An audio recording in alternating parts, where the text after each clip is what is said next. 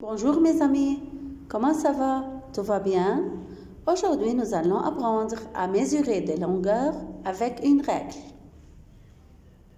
Pour mesurer de petits objets, on utilise une règle graduée en centimètres.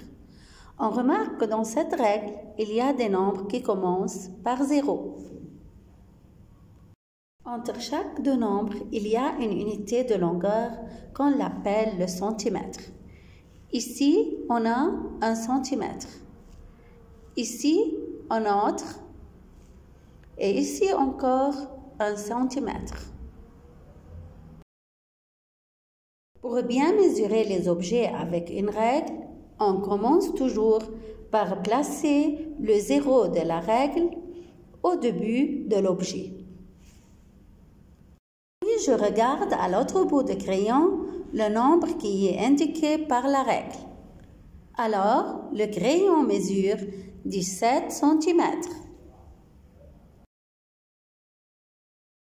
Comme un devoir, vous allez écrire les longueurs de ces objets?